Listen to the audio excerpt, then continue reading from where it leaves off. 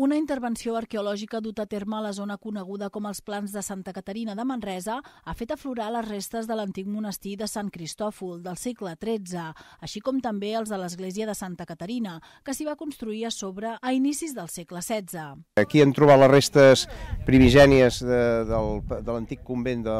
de Sant Cristòfol del segle, bueno, ja documentat del segle XIII, que perdura fins al segle XV, que amb la Guerra Civil Catalana s'abandona, i després hi ha una reestructuració de tot això que correspon correspon a la nova església, bueno, l'església antiga reformada de Santa, primer que havia sigut de Sant Cristòfol i passa a ser de Santa Caterina, i a més a més de refer l'església es fa una construcció de tot un mas dedicat a l'explotació de la vinya, que és les restes que veiem en aquests moments a l'entorn de l'església de Santa Caterina.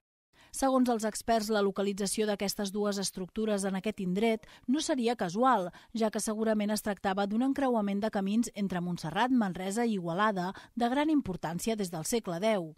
Els edificis originals van ser enderrocats en el marc de la Guerra Civil Catalana. Els treballs també han permès descobrir que l'emblemàtica Torre de Santa Caterina, que data del segle XIX, s'hauria construït amb pedres del jaciment. Segons s'ha documentat, durant la Guerra del Francès i més concretament en el marc del saqueig de Manresa el 1811, aquest indret es va abandonar.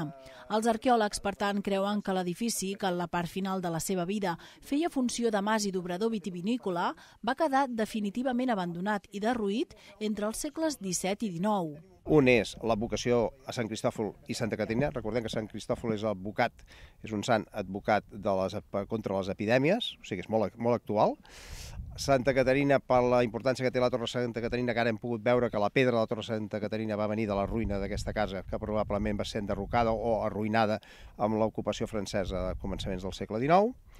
i després es pot explicar l'evolució, els primers moments de com s'organitzava una explotació, un obrador vitivinícola, amb les seves premses i amb una tina que és de les que, aquesta contrada és de les més antigues que hi ha, perquè la podem datar en el segle XVI. En el marc de l'excavació arqueològica també s'han localitzat petites restes de ceràmica que podrien ser d'època romana. Hi ha precedents en el lloc, hi ha dos precedents anteriors al que seria el convent documentat al segle XIII. Un és una sepultura mm, tallada a la roca que semblaria que podria ser molt més antiga, del segle X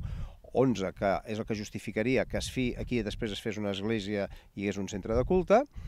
i l'altre són molt més antic, que és una ocupació d'època romana que és molt residual, o sigui que està absolutament arrasada, però que queden clots, sitges, petits elements que